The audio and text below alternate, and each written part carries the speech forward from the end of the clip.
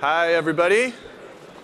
I'm John Hulwick, Vice President at Loom Systems, and I'm here with uh, Julio Calderon, uh, Product Manager for New Innovation at Kio Networks. So thanks for joining me today.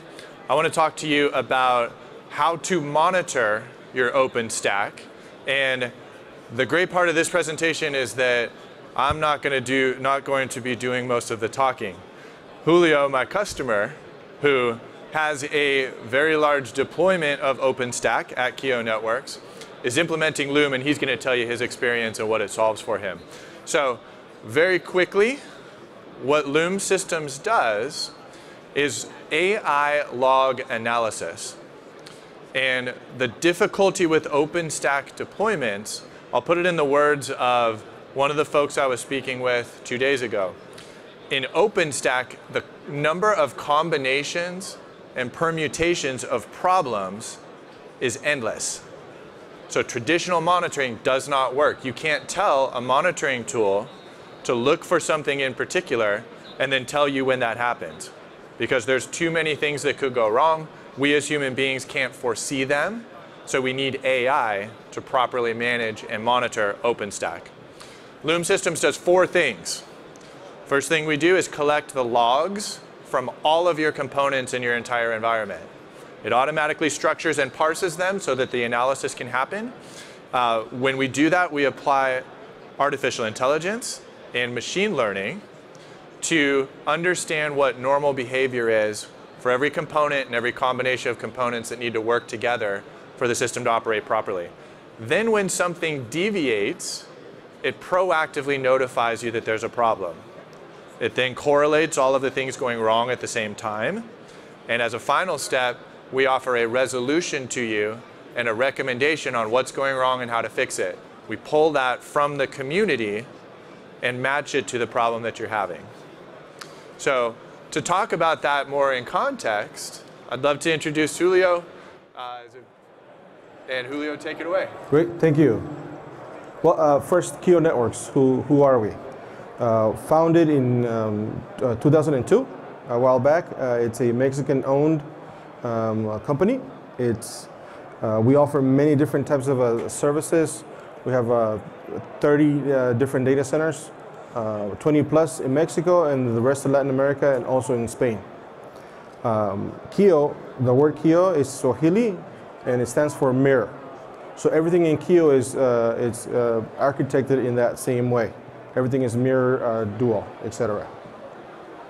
Want to hit the next slide? Yeah. So Kio Networks is a group of different companies. Right, uh, Smart is a security company. Uh, we have our own SOC. Wingo is a company uh, tailored for for sliding the business your your credit card and buying a, a cloud-based solution or a SaaS.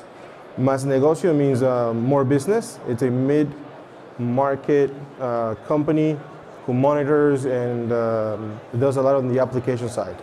And Datless is our company that does big data. We have a data scientist there. Uh, and Kio, uh, the core, uh, we do it all. It's a single one-stop. Reddit is a company uh, that, that we have that does infrastructure, IP, fiber. Yeah. So, Julio, maybe you could tell us a little bit about what, what's in your environment and what are, how are you doing your OpenStack? You know, uh, this event obviously is, is OpenStack, so this is tailored for the, uh, in that context. Uh, you know, I made a, an emphasis to say that this is one flavor. So because we have so many different data centers and they're all tier four, we attract some of the biggest companies uh, in Latin America. So they want their own cloud. So these components like Horizon, Nova, DHCP, Neutron, KVM, Cinder, uh, Ubuntu as the OS, uh, Ceph or Scale.io or Swift are some of the components that, that, that compose our OpenStack uh, distributions or installations that we manage. But also there's more. There's the firewalls, right? There's the switching and the routing, uh, the load balancers, either hardware or software, the antivirus platforms we, we use, and obviously backup software that, that, that we include in our different environments, right? So it's, uh, it's really tough to manage all that with people. We have right. a lot of people. Yeah, so that, and I I can understand how that's challenging. Tell me a little bit more about what were some of the problems you were facing, what were you trying to solve? Yeah. So it's, I think uh, as, as we progress with technology, uh, it continues to get more diverse. Uh, one of the key points here, right? It's uh, the OpenStack. You guys know it. You guys do it. It's not a turnkey. It doesn't come in a single box. You don't just turn it on and everything magically works, right? There's a lot of expertise, a lot of love that you put into it to make to making it work the way you need it to. So it's uh, it's there's a lot of um, handwork by your experts, and is uh, is not something that you can just you know, turn on and go. Yeah. It's uh, many different components that are distributed that you need to tie together, right? Uh, detecting a single point of failure within that environment is very tough. Uh, meaning you run into an issue. Uh, we do this at, at, at Kio, right? We have our experts. By the way, they're here. If you want to ask them a question, they're right there. Uh, but they'll get together. Right? They, they handle their own customers, their own stacks. But what do you do when you run into an issue on a Friday night and you have an SLA to the end user and it's running production, right? It's not OpenStack for play. It's OpenStack for pay, right? And they're paying for that SLA. And these guys need to handle it right away. No matter where they are, who they're, who they're hanging out with, they need to jump on a call, right? I need to resolve it. So um, what I, I've seen them do this live, you know, they call me. And, and just to be nosy, I get in there, see what's going on, and I'm thinking, wow, this is over my head, right? But they solve it. Uh, it just takes a lot of manual work, a lot of hard effort.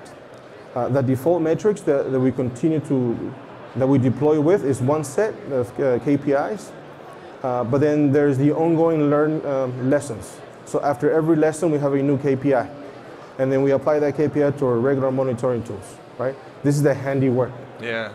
right? So what we see is that Loom takes us above that, Right. Took us uh, from doing the KPI, identifying it through a lot of hard work and hard weekends, and uh, they discover the new KPIs, basically. Yeah. That's what you So, so I think what you're saying is that it's reducing all of the manual labor that's involved in figuring out what the problem is rather than just what, are, what all the symptoms are. That's correct. Yeah. Yeah.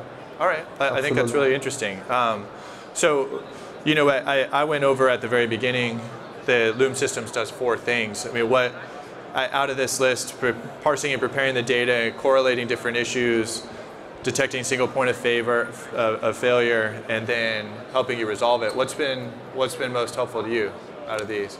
It's the correlation, the quick, well, this, this can, imagine if we have one person looking at uh, one environment, it's, in, it's impossible, right? So, but imagine that same person trying to look at 10 environments, Yeah. right? So it's, uh, there, there's no way. There's no way that a single person or two or, or even 10 can look at all the logs that are being generated, right? So then we default to our known KPIs and known monitoring tools until we need to identify a new KPI. So what Loom is, is doing is, is, uh, is helping our guys, well, one, sleep better, you know, recover their weekends, uh, and, you know, get, uh, discover new, uh, new KPIs on the fly, right? What are the new KPIs we need to address right away? So, right, so it takes us from a reactive investigative work to a proactive and, I don't know, have more fun type of uh, environment at work, right? Yeah. That's I love that. So we're, we're giving you guys back your weekends and helping you have more fun. I mean, that's like, what other what other products do that? That's pretty amazing. All right, Yeah. cool. So um, you know, I, I have some samples here that uh, Julio's been nice enough to share from from his own environment. Um, I want to mention though that we're at the kind of at the, the halfway mark. We're going to do a raffle at the end of this. So stay here, watch the samples, and uh, our friend Sabo has been collecting business cards. So um, we're going to raffle off an Amazon Echo. It's AI in a box. It's pretty amazing. It's not as amazing as Loom, but we're going to give away a free one at the end of this. But if you work hard at it, you can probably, or maybe easy enough to hook up that to your, your Loom, right?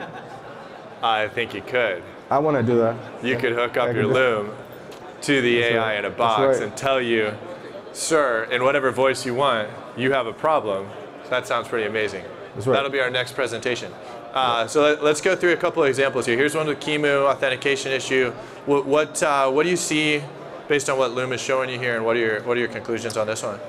Well, uh, this is pretty interesting, right? Because um, uh, the problem. I don't know if you can expand the, uh, the pointers. There you go. So Yeah. at, at the entry point, you see out of many different thousands of logs that, that are going on in the background, uh, it highlights you right away to an issue that lasted for two minutes. And it told you that three different events or, or particular lines in the log that can correlate to an actual issue. And it's an authentication issue, right? Uh, and on the right side, it says, hey, insight for you. So that's the actual possible fix, right? The, the cool thing about it is that, uh, you know, when, when our experts look at it, they can either agree or disagree, uh, or they can even enrich that answer. They can say, well, uh, sure, but in our own stack, we do this, right? And that will actually become a new fix for some other, uh, when we continue to grow, uh, have a junior tech actually look at it and be able to address it right away, having identified the same, the same correlation, right? Right. So how much manual configuration did you have to do, and how much did you have to tell Loom to be able to get this this uh, this incident pushed to you? So all we did is point our logs to the environment, nothing else. That to me, I was very skeptical.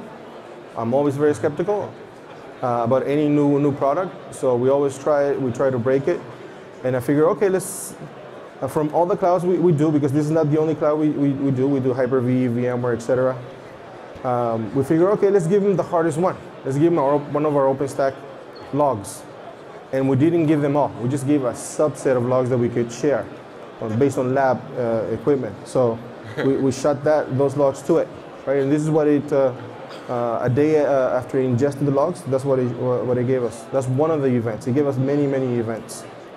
So I think that this is one of the things why Julio and, and Kio are such a good partner for us. I didn't know that he was giving us his hardest problem to solve, but that also introduced us to OpenStack because OpenStack and the problems that everybody faces in OpenStack are what we built this product to solve. So thank you for giving us hard problems. No, my Uh, pleasure. Yeah. So, so let's let's talk about a, another one here. This one's with Nova, and, it, and there's some inconsistency between databases. Yeah. So th- this was interesting. Um, um, yeah, this is. I didn't expect to see this actually, but there was a mismatch on uh, the number of VMs uh, that were actually deployed versus the number of uh, VMs in the database, right? Uh, and this happened to, to, to be running for 34 minutes. So in this case, it, it told us right away what is the recommendation, right? First, it identified there was a mismatch, and second, what you should do about it. So one, it told us what we didn't know right away. Eventually, we would find out because obviously the guys do this on a Friday night and Saturday night, right? Uh, we would have found out. That's right. Uh, but in this case, it was automatic, and it saved potential a, junior person uh, the need to go out and find out or call them. Hey, what should I do about this? It actually told them right away. That to me was the coolest thing, right? It's a is the ability to enable a, a junior person to take action rather than, than to consult with an expert, right? Yeah, I And- really, I well, really there's, like that. there's a business impact too. yeah, If I don't know what's in the database, I don't know what to build for, right? And to me, that's the most important part. right. Yeah, one so, of the most important parts. so then you're you're reducing escalations too, Absolutely. and you're reducing the time that's spent by the really expensive people, and the extra time that's lost getting it to those people to begin with. Well, the escalation and well, the time to fix, Yeah. right? Satisfaction is, is up, right? All right, that's that's great. So, uh, Ceilometer. So I know I've heard from a lot of people that they they see similar incidents to this. What's uh, what's going on with this? Well, actually, I didn't check this one out. So I see. they, they checked it. It wasn't me. But if Do we want to bring up some tests you, uh, or some some of the team? Well, it's well, it's bottom line, right? It's the similar, the, the similar uh, organization, right? It tells you what you found, the evidence uh, that led it to um, uh, that, that it correlates Right. uh, to lead to that conclusion, and it tells you as well, right? What is the fix? In this case, you run for a minute, um, and uh, it tells you the user. In this case, the limiter, right? So, th- so and and I can even look at this and figure this out. I'm a non-engineer. I'm just a data guy, and I can I can look at this. I can see that three new behaviors have happened. The first one, the- and the third, and the fourth, and those are all correlating over the duration of one minute with the severity of error messages out of the out of the the ceilometer. So That's right. the the fact that I can look at this, I don't know anything about Julio's environment, and when he tells me about it, it goes over my head because I don't. I'm not. I'm not like you guys. I'm not an engineer. So I can look at this and I can see a problem, and if I had to bring this to somebody and tell them what was going on and how to solve it, I mm-hmm. could do that, which is pretty amazing for a, a That's right. an average intelligence person with no engineering uh, ability like myself. You know, there's a something that we didn't um, showed in this, and you guys should talk to these guys at their booth. Is you can expand on every single log. You can then say, click on it, and I want to know more. I want to know what other events that they correlate around the same period of time. You can expand on all those logs right away. Yeah. Um, it's, it's pretty pretty cool. And I'm, ha- I'm happy to show any of you guys uh, exactly what he's talking about. We're at booth B29. Just find the worst location for a booth in the entire place, and that's us. It's Yeah. at the very end of the hallway, uh, which means that you only pass by there on your way to lunch. But you can come make a special trip, see me, I'll show you this live, and we could talk about how it would apply to your environment. Um, why don't we give away a, AI in a box here? Sabo, come on up and I need a volunteer to grab the winner. Who wants to be a volunteer? Sir, in the in the brown jacket, can you please help us find a winner for AI in a box? Close your eyes, please. Thank you.